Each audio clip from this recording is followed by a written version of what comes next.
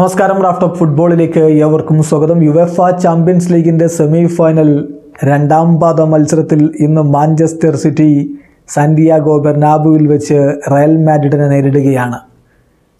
ഇപ്പോൾ ലാലിഗ കിരീടം ചൂടി വലിയ ആവേശത്തിലും ആത്മവിശ്വാസത്തിലുമാണ് റയൽ മാഡ്രിഡ് ഇറങ്ങുന്നത്. അതും സ്വന്തം മൈതാനത്ത്. വമ്പന്മാരെ സാന്റിയാഗോ ബെർണാബുവിലിട്ട് ഈ സീസണിൽ തന്നെ അവർ പരാജയപ്പെടുത്തിയിട്ടുണ്ട്. അത് ആവർത്തിക്കാൻ കഴിയുമെന്ന പ്രതീക്ഷയിലാണ് റയൽ മാഡ്രിഡ് ഉള്ളത്. അതേസമയം ആദ്യ പാദത്തിലെ നാല് മൂന്നിന്റെ വിജയവുമായിട്ടാണ് മാഞ്ചസ്റ്റർ സിറ്റി വരുന്നത്. കടുത്ത പോരാട്ടം എല്ലാവരും പ്രതീക്ഷിക്കുന്നു. ഈ ഒരു ഘട്ടത്തിൽ ലാലിഗയിൽ ഇപ്പോൾ കിരീടം ചൂടിയ റയൽ മാഡ്രിഡ് പക്ഷേ എൽ ക്ലാസിക്കോ മത്സരത്തിൽ നാല് പൂജ്യത്തിന് എഫ് സി ബാഴ്സലോണയോട് പരാജയപ്പെട്ടിരുന്നു.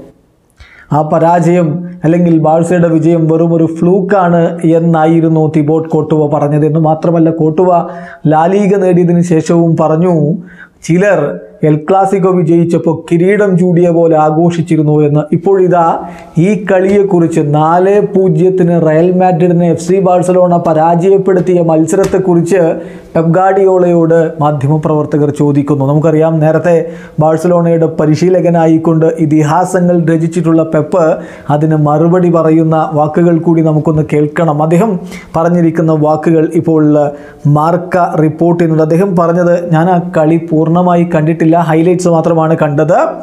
ഫുൾ ഗെയിം ഇൻ ഡീറ്റെയിൽ എനിക്ക് കാണാൻ കഴിഞ്ഞിട്ടില്ല.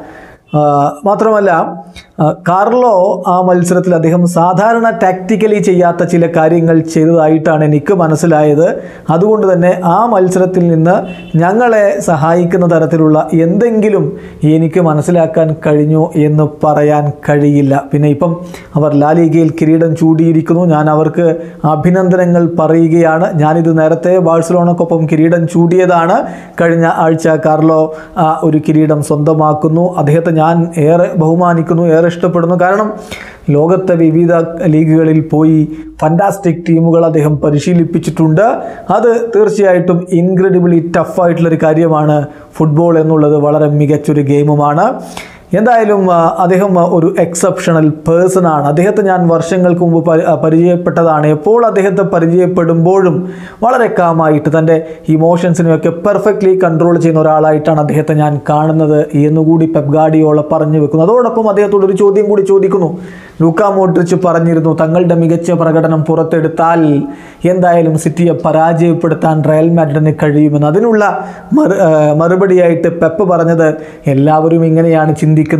തങ്ങളുടെ മികച്ച പ്രകടനം പുറത്തെടുത്താൽ എതിരാളികളെ ഓപ്പണൻസിനെ വീഴ്ത്താൻ കഴിയുമെന്നുള്ളത് എല്ലാവരും ചിന്തിക്കുന്ന കാര്യമാണ്. അത് നോർമലാണ് എന്നാണ് ഇപ്പോൾ പെപ്പ് പറയുന്നത്. ഏതായാലും ഇന്ന് കളിക്കളത്തിൽ ഒരു മികച്ച പോരാട്ടം കാണാൻ കഴിയുമെന്ന പ്രതീക്ഷയോടെ ആരാധകർ കാത്തിരിക്കാൻ വീഡിയോ അവസാനിക്കുന്നു. ഫുട്ബോൾ ലോകത്തെ കൂടുതൽ വിശേഷങ്ങളുമായി റാഫ്റ്റോക്സ് വീണ്ടും എത്താം.